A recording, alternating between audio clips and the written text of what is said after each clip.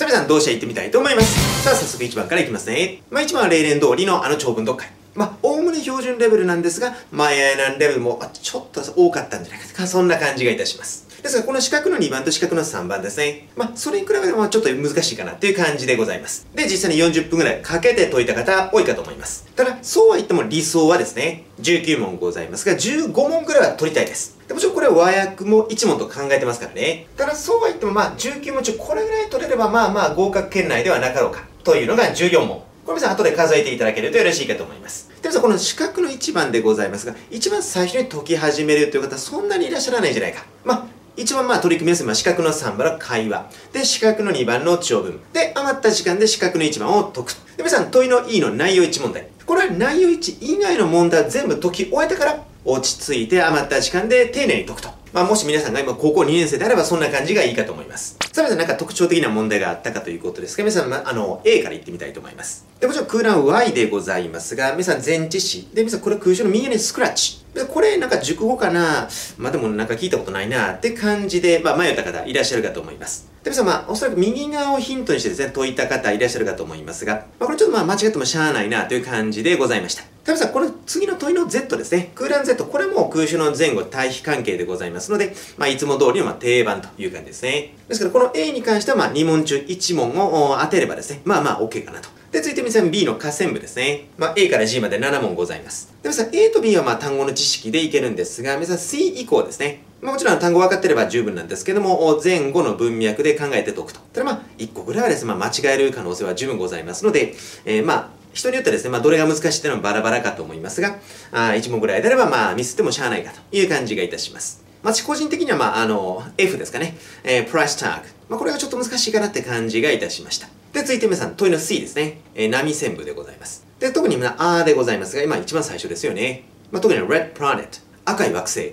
で、これで、まあ、ピンとくる方もいらっしゃるかと思いますが、まあ、ピンと来なくてもですね、後々読んでいくと、まあ、なんとかわかるという感じでございます。ただこれがもう読み始めて一番最初の問題なので、うーんって感じになりそうですが、あ解けないなと思ったら、一旦保留という感じでよろしいかと思います。で、皆さん最後の問いの E と U でございますが、これも波線部、もしくは波線部前後で解けるかと思います。で、皆さん D でございますが、これも一般的にま文法問題と考えていただけるとよろしいかと思います。これは皆さん全部当てたいですね。で、問いの E 内容一致問題。まあ、内容一問題、まあ、3つ中3つですね。えー、全部当てられると、まあ、理想なんですが、えー、まあ、1つぐらい間違ってもしゃあないという感じでございます。そして皆さん、F の和訳ですね。まあ、これはまあ、標準レベルでございますので、えー、ほぼ満点と、えー、取りたいですね。まあ、もしくは皆さん、まあ、取れるんじゃないかって感じがいたします。それでは続いて第2問目、長文読解でございます。まあ、これは第1問目に比べると、まあまあ、やりやすいかなと。で、しかも30分ぐらいで解けるはずです。ただまあそうは言ってもまあなかなか満点は難しいかと思いますので、まあ1つ2つ、まあ3つぐらい間違えてもまあしゃあないなと。で、皆さん18問中14問できてればあセーフという感じですね。さあ皆さん A から言ってみたいと思いますが、空想 Y ですね。まあ、これはもう except for 熟語だと。で、皆さん空想 Z ですね。で、皆さんこれも空想の右側、あ was like、まあ B 動詞 like ですね。で、これで what 主語 B 動詞 like。まあいつもの定番でございます。ですから A 全体としては2問中2問当てていただきたい。そしてトの B でございます。まあ、9問ございますね。まあ、できれば8問当てたい。まあ、最悪7問ですかね。で、ちょっと、うーんと思うのは B の cracked。田辺さん、これは下線部で左は finally とか、もしくはこの文頭の now。まあ、これをヒントにして解けるんじゃないかなという感じがいたします。そうです。今まではうにゃうにゃでしたが、今は、という話ですね。対比関係でございます。あと皆さん G ですね。expel。ちょっとなんじゃらほいって感じになるかもしれませんが、皆さん出だしの EX ですね。皆さん語源の知識で外へ出すと。で、そこから皆さん、あの、捉えていただいた方いらっしゃるかと思います。そして皆さん、I がですね、ちょっとこれはなんじゃらほいと。proliferate。まあ、知ってる方いらっしゃるかもしれませんが、まあ、知らない方でも、まあ、なんとか、こう、プ、出だしのプロですね。PRO。前。で、真ん中に life。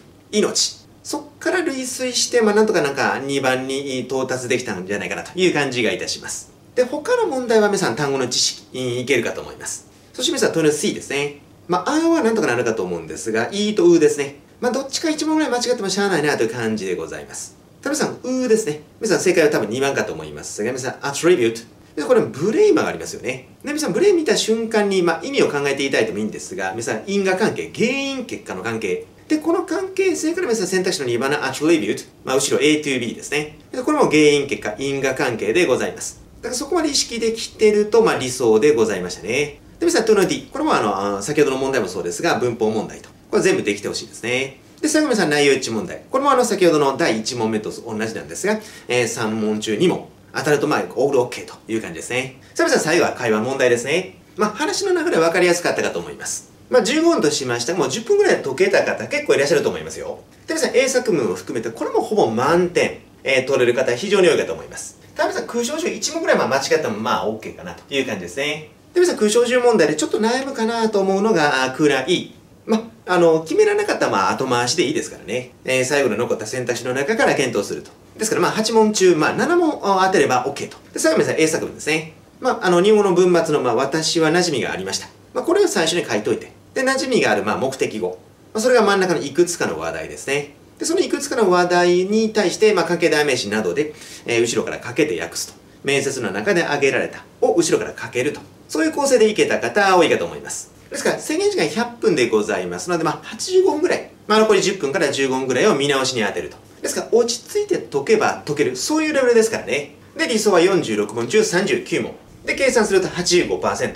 まあ、それぐらい取れればいいんですが、まあ、最低でも46問中36問。78%。ですからおそらく8割前後取れてれば、あ合格圏内に入ってるんじゃないかと。そういう判断はできるかと思います。さあ皆さんまとめに入りますね。皆さんこの同志社の試験を終えてですね、またこの後も早慶上司を受けたりですね、まあ、国公立が残ってると。まあ、そういう方いらっしゃるかと思います。で、その方のためになんかアドバイスができるか。もしくは今ご覧になったように高校2年生だと仮定してですね、まあ、来年受けるからまあ、満点取ろうぜ。まあ、取りたいなという方は、まあ、カンカン度率以上のレベル。まあ、ある程度カンカン度率の過去問解いてですね、まあ、7割ぐらい取れるんだったら、やっぱり早慶上司で練習することを強くお勧めいたします。ただ、解いて終わりではちょっともったいないですね。まあ、この同志社を受けていただいて、まあ、感じた方いらっしゃるかと思いますが、結構単語、熟の知識あればですね、正解を見つける速度はかなり速くなるかと思います。もちろん河川部とか空想前後でなんとか答えは出せるんですが、豊富な語彙力がものを言うと。それが同志社の昔からの特徴ですからね。ですから過去問演習したらしっかり単語も覚える。熟語なんかもどんどん吸収していく。その姿勢が引いては合格につながりますからね。そのあたりは頑張ってください。